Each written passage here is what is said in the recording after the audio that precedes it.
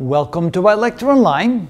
To see how the three methods work on a small data set, we've changed things just slightly from the previous video. We've added one more data point in our data set, and therefore now our half value falls over here, and our first quartile range still is in this particular region, but let me explain. There are now 13 data points, so if we think of this as being the point where the first quartile files, then what percentage of the data points fall to the left, and what percentage of the data points fall to the right? Let's find out.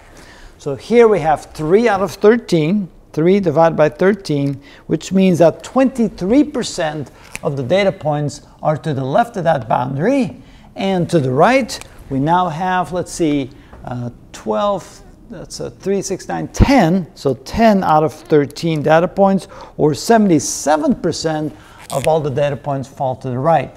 So you can see that clearly the 25% point still falls between 5 and 7, which is something that we need for method number 3. But now let's again think about how to approach this. Method number one says that the first quartile is a number such that at most one quarter of the data are smaller in value and, because it's an and condition, they both must be true at the same time, at most three quarters of the data are larger in value. All right, let's see here.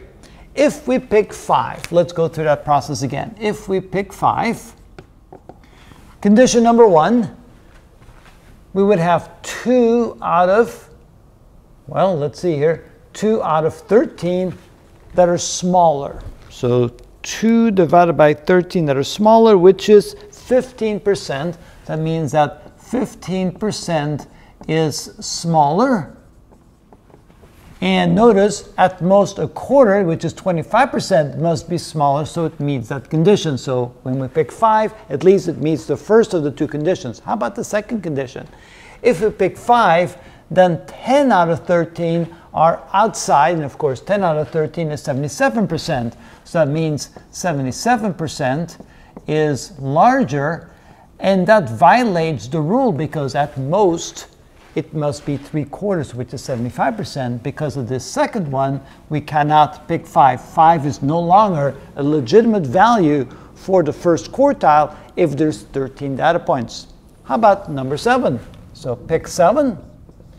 And if we do that, then 3 out of 13, which is 23%, is smaller. 23% is smaller.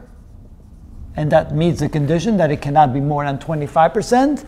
And secondly, to the right, there would be 9 out of 13. 9 divided by 13, which is 69%. 69% is larger and that also meets the second condition because it cannot be more than 75%. Since both A and B are met, 7 is the right pick. So for method number 1, 7 represents the first quartile, no longer 5 like we saw in the previous video. How about the method 2? So we're going to take 1 quarter, the number data points, which is 13 plus 1, and that would be the position of the Q1, quartile 1. So this would be equal to 1 quarter of 14, which is 14 divided by 4, which is 3.5. Wow, it's exactly halfway between the third and the fourth point. So in that case, 5 or 7 have an equal value. So for that reason, method number 2 will give you either 5 or 7 as a proper value that meets the condition because this is right halfway in between 5 and 7. All right.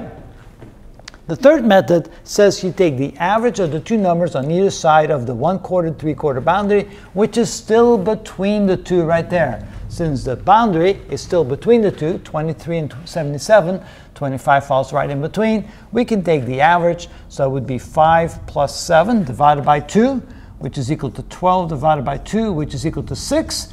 Then with method 3, 6 would still be quartile, uh, quartile 1, first quartile.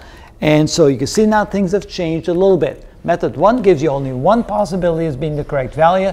Method 2 gives you two possible values. And method 3 still gives you the same average value between 5 and 7. And that's how it's done when we have 13 data points. I wonder what it looks like with 14 data points. Let's do one more, add one more data point to see what happens now. And that is how it's done.